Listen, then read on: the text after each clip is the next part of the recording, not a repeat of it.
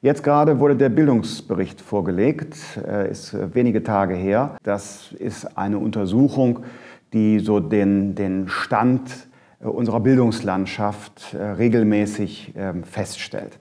Und in diesem Jahr war dieser Bildungsbericht besonders traurig, trauriger als er in den letzten Jahren ohnehin schon immer gewesen ist. Die Zahl der jungen Menschen ohne einen äh, Schulabschluss, ohne eine Berufsausbildung, die steigt. Und damit ist unmittelbar natürlich eine Lebensperspektive verbunden. Äh, Chancen im Leben machen sich an der Qualifikation, an Bildung fest. Und insofern ist Armut sehr oft eine Folge auch von Bildungsarmut. Das darf uns nicht kalt lassen.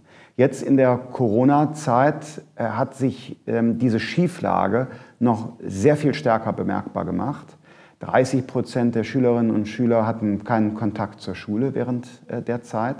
Äh, an vielen Fällen, in vielen Fällen scheiterte das Homeschooling schon an der Verfügbarkeit von Hardware. Wer also aus einer ärmeren Familie kommt, wo nicht überall ein Tablet rumliegt, der hat dann schon gleich viel schlechtere äh, Bildungsmöglichkeiten. Das heißt, die Probleme der starken Herkunftsorientierung in unserem Bildungssystem, also ähm, der Zufall, in welche Familie und an welchen Ort du geboren wirst, entscheidet über deinen Lebensweg, der wird dadurch natürlich noch, noch äh, sehr viel stärker hervorgehoben. Und wir möchten gerne unser Bildungssystem neu denken. Es muss fairer und leistungsfähiger zugleich werden.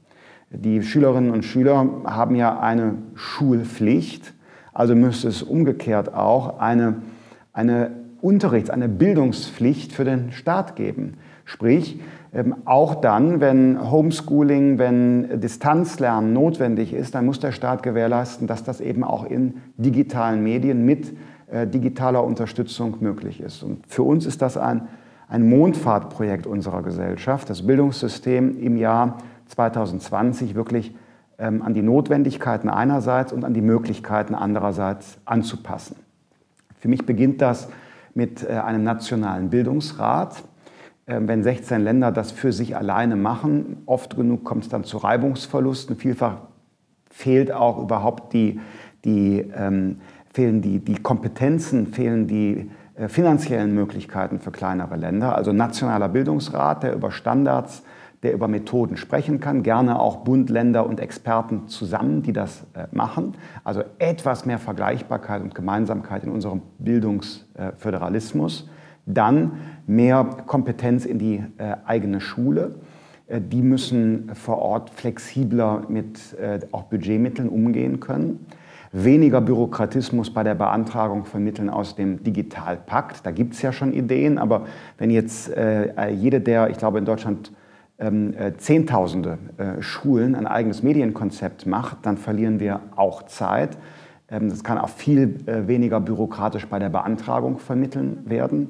Der Bund muss sich engagieren, finanziell und konzeptionell bei der Weiterqualifikation der Lehrerinnen und Lehrer. In jedem Fach kann man auch digitale Didaktik nutzen. Medienkompetenz brauchen die auch. Da, wo es noch einen Nachholbedarf gibt, individuell, da muss die staatliche Verantwortungsgemeinschaft tätig werden. Also äh, in einem Satz gesagt, wir wollen weltbeste Bildung und leider nähern wir uns dem Ziel nicht an, sondern ähm, wir werden in Deutschland ähm, durch Corona jetzt auch eher schlechter. Eine ganze Generation ist in äh, ihrer Bildungslaufbahn beeinträchtigt.